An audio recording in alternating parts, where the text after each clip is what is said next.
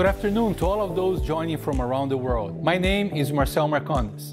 I'm the Chief Marketing Officer at ABI in the US. For anyone who doesn't know ABI, we're the world's largest brewer, operating in more than 150 countries. So, I want to share some of the experiences and learnings we've had at ABI over the last year as we have transformed our business during the pandemic. And more specifically, why I believe marketers have an incredible opportunity in front of us. And what is this opportunity? It's the opportunity to not just get back to normal, but to get better. Here in the US, we are fortunately, hopefully, beginning to see brighter days ahead as vaccinations increase and the country reopens. But there, of course, is still a lot of work to do here as well. And I will share the ways that we at ABI are working to actively support those efforts. Additionally, I want to explain the movie I chose for the theme of my talk. That movie is Field of Dreams.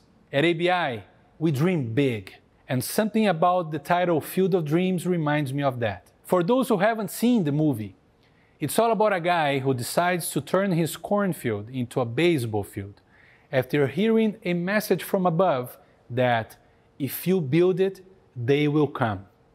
This represent two ideas that are core to ABI's future. One is simply the power of big dreams to change the world. Now, the second, when it comes to marketing, is if you follow your instinct and focus on what really matters to people as humans, you will ultimately get consumers to join you on an even more meaningful journey. If you lead with actions, if you build it, they will come, and your brand will be even more successful.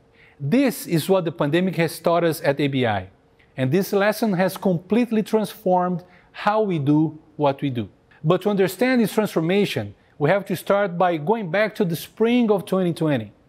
That was the very beginning of when COVID started to reshape all our lives overnight. And for a company like ABI, it was obviously a very difficult moment for our business as the places where people come together to enjoy our products, from bars to restaurants to sporting events to concerts, had to shut down and we were facing an uncertain future.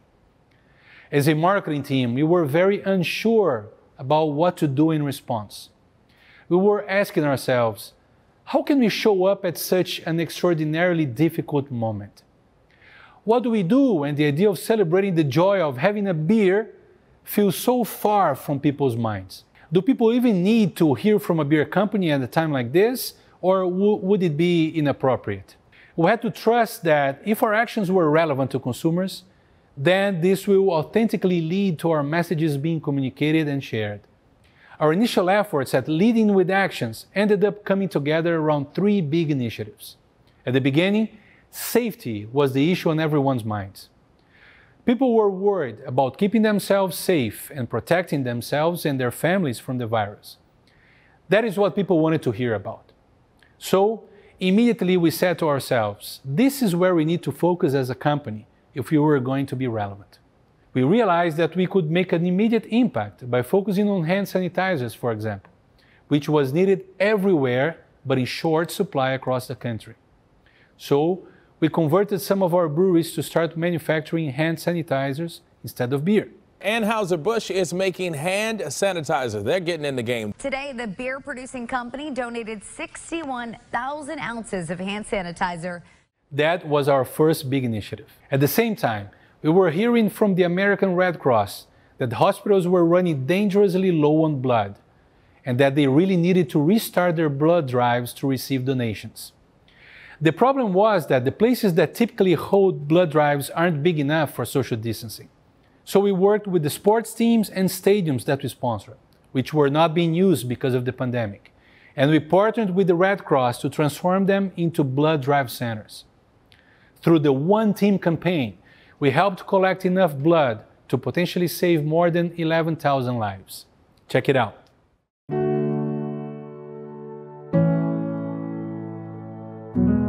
This buds for the blues, the reds, and the warriors. This buds for the magic, the Athletics, the Giants, and the Jazz. This buds for the Trailblazers, the Braves, the Yankees, and the Angels. This buds for the home team.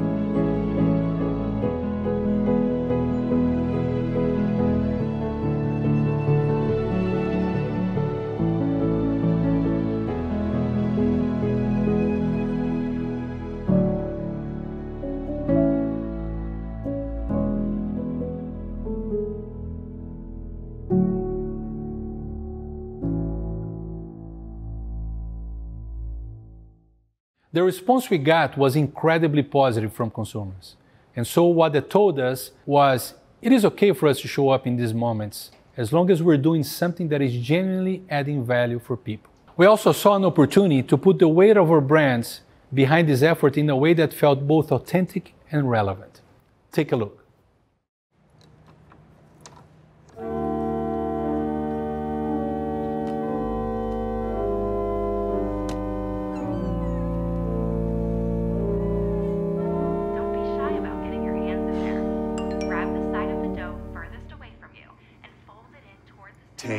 Me out to the ball game. Take me out to the couch. baseball or football or racquetball. We don't mind, we'll watch any at all. Cause it's root, root, root for the home team. No way, we don't really care. We care. I care. Cause sports are finally back and there's a Bud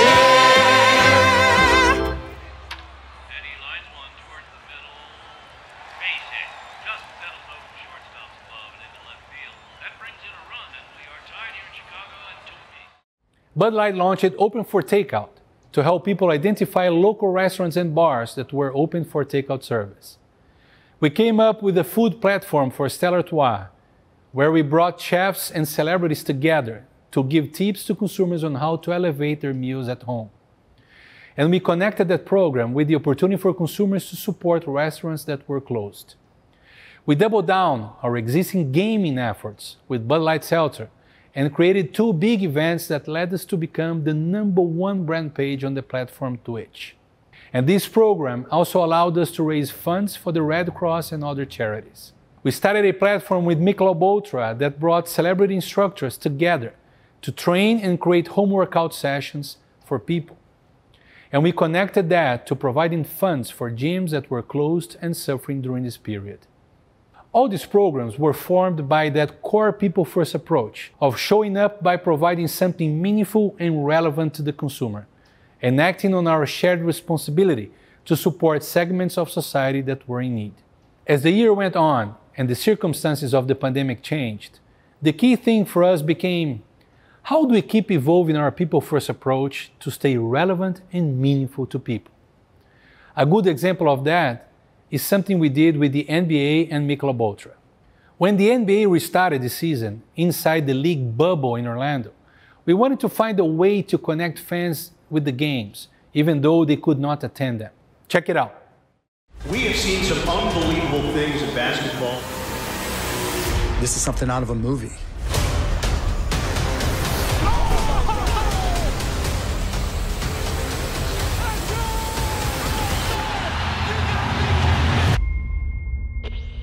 Games have been suspended. This is the last night of NBA games. The league will use this hiatus to determine the next steps. We play games without the fans? Yeah. No, it's impossible. I ain't playing.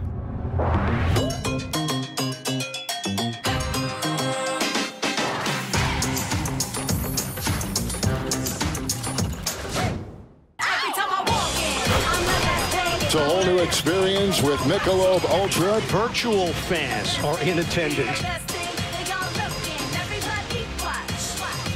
Yo, this is sick, dude. You just scan a Michelob bottle to see if you want a seat.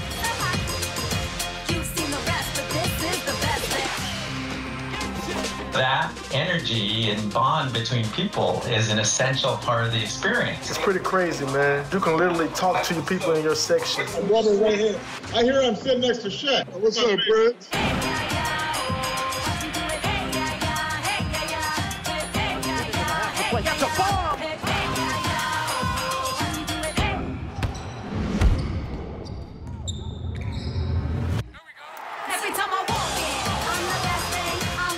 Dwyane Wade in the Miami Heat section. Snoop Dogg. Mickey Mouse. Scottie Pippen. We see it, Chuck.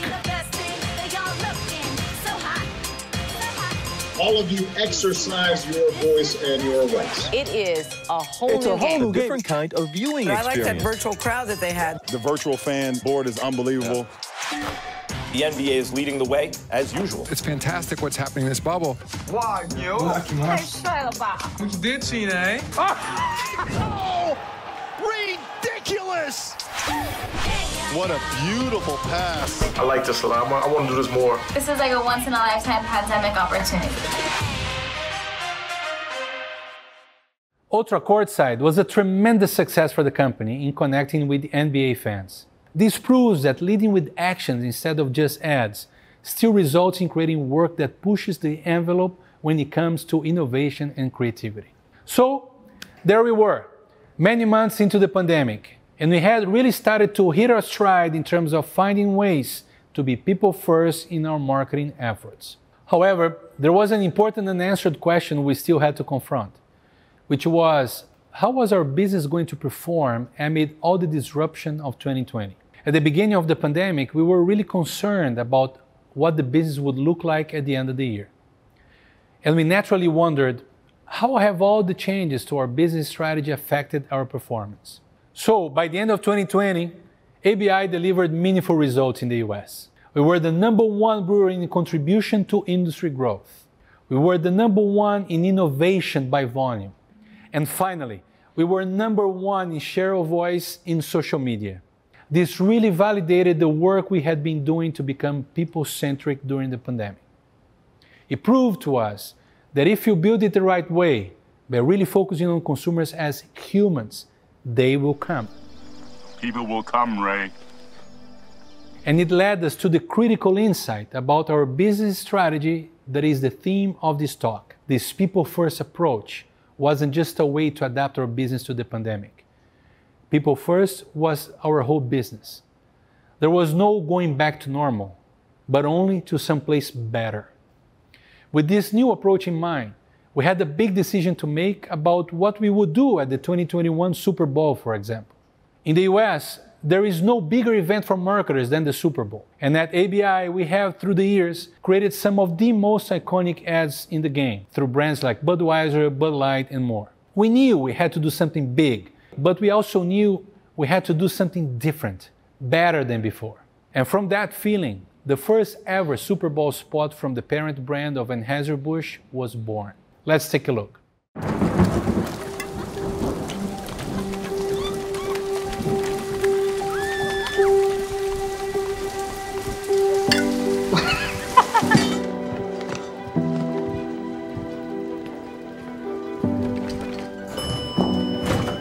Come on. I'm buying you a beer. Okay. What did they say? Flight crews next door eating pizza. Ah, here's the new friends. We used to come here with Eddie. You remember that? I had such a crush on my sister. We all did. They're gonna go their way, we're gonna go our way. Lydia, we sure could use your help on this. Okay. Congrats. No, not yet.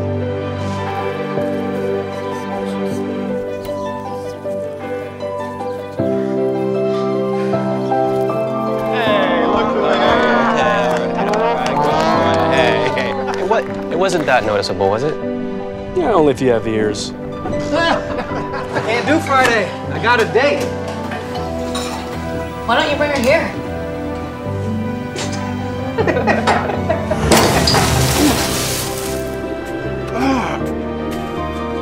Come on, let's grab a beer. Yes.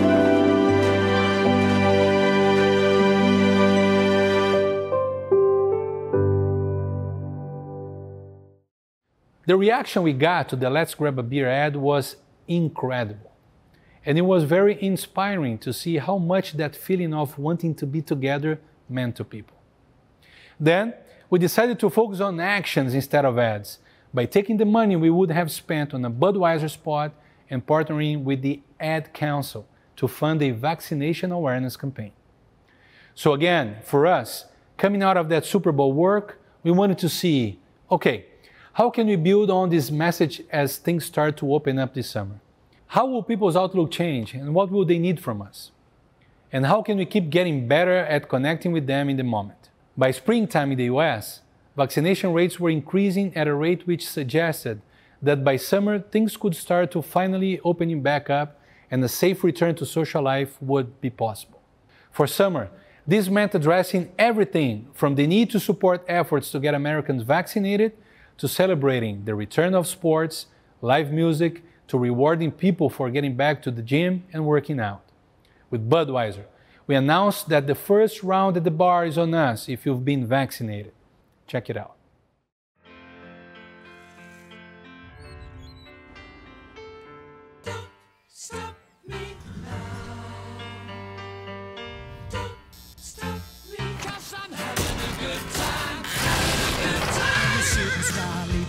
sky.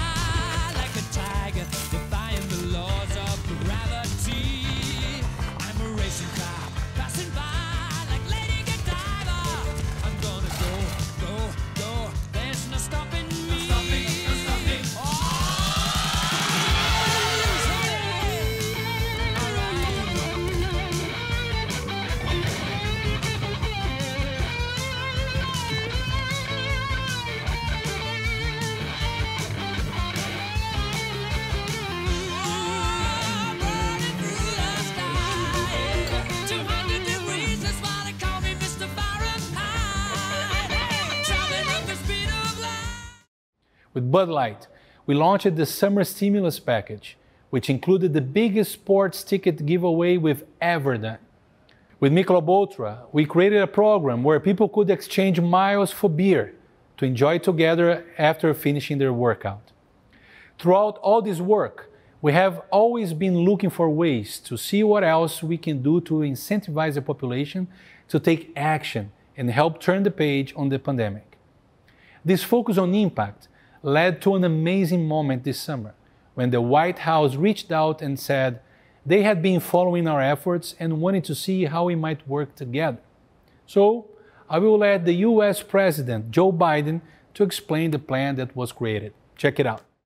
And to top it off, Anheuser-Busch announced that beer is on them on July the 4th. That's right, get a shot and have a beer. Free beer for everyone 21 years or over to celebrate the independence from the virus. Let's get ready for a summer like no other. Let's look forward to seeing friends and family again. Let's get excited to head back to the bars.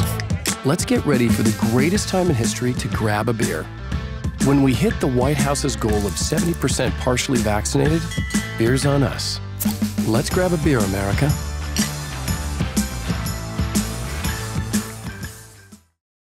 It's not every day as a business that you get a call from the White House about the work your marketing team is doing, right? When I thought about the line from Field of Dreams, if you build it, he will come. I confess I don't think we ever imagined the him to be Joe Biden. But seriously, to hear our work referenced by the President of the United States and help the country reach that milestone was amazing. For me, it was a recognition of how at ABI we are leading with humanity, dreaming big and putting people first. Our insight was that we're moving from that feeling of what we've missed to the feeling of we're looking forward to being together again. This meant we needed to pivot our focus to finding ways for our brands to support people as they started to reconnect and get back to doing the things that the pandemic had put on hold. And we needed to find a way to capture that emerging emotion. Let's take a look.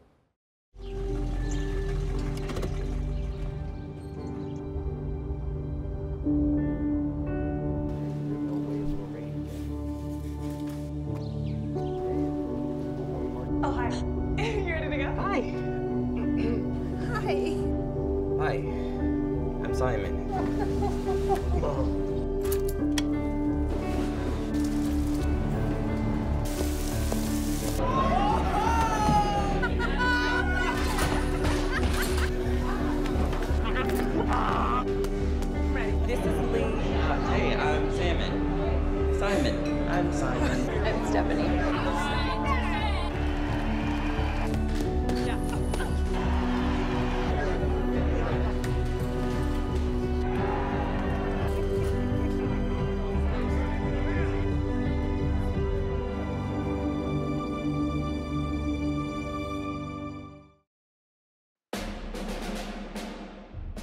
Good afternoon. In less than a week, we hope to fire up our grills and launch one of the biggest 4th of July celebrations in the history of the United States. The United States. Those words have new meaning for us all today.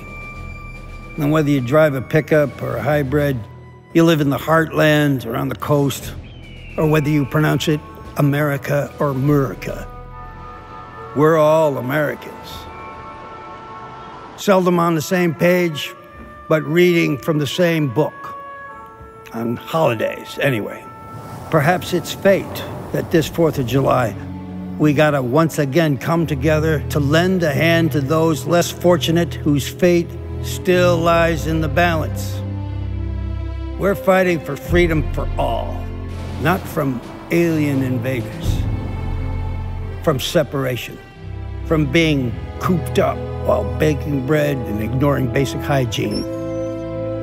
The time has come for us to get fresh, gather the crew, and eat veggie and meat burgers till we sweat. And then let's work together towards a future where everyone can come to the party. And should we win the day, the 4th of July will no longer be known as an American holiday, but as the day when the world declared in one voice, we will not go quietly into the night. We will fill the sky with so much light and freedom, this thing will rue the day it ever messed with us. Together, we celebrate our Independence Day.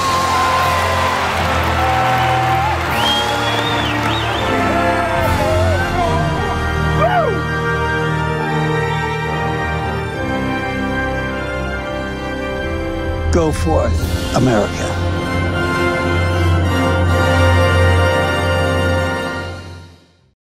To conclude, I wanted to share the four key lessons of the last year for me, each of which will be integral to our strategy going forward long after the pandemic has, hopefully, faded into the background. Lesson number one focus on humanity. Not a surprising one, given how much we have talked about the importance of being people first, right? But I truly believe that this is only going to be more important for all brands going forward. It is something consumers now expect of the brands they care about, and it is the next frontier of being people centric. To compete, you have to know how, as a brand, to transform data about your consumers into insights about how people are living, and then turn those insights into meaningful actions that allow you to make deeper connections with your consumers. That is going to be the formula for success. Lesson number two trust your instincts. That is another way of saying you can have all the data in the world about your consumers, but to truly connect with what's happening in the moment in their lives, you're going to have to rely on an instinctual feeling for what matters to people. Back to the previous point, the better you understand your consumers, the braver you are and able to take risks. Lesson number three take action. I truly have come to believe that for brands, actions speak louder than ads. The most creative and entertaining ad in the world can never compete with actions that make an impact in consumers' lives. Nothing is as meaningful as getting things done and finding a role for your brand in making the world a better place. Moving from saying to doing was a huge undertaking and a massive shift in how we see our roles and how we work. But it's a change that is transformative, and it will not only make our brand more respected, but it will also make it much stronger. And finally, lesson number four please don't go back to normal. As I have mentioned before, the big opportunity here is to get better, not just back to normal. I really think the most important word here is opportunity. For all of us, as brands, as business leaders, and as people, the pandemic has been one incredibly tough moment after another. It's required us to be at our best, to be nimble, resourceful, creative, and very resilient. So, after all that, whatever you do, please do not waste the opportunity to learn from everything we've been through. Instead, take our hard won knowledge and get to a better place. That's it, my friends. Thank you very much. Cheers.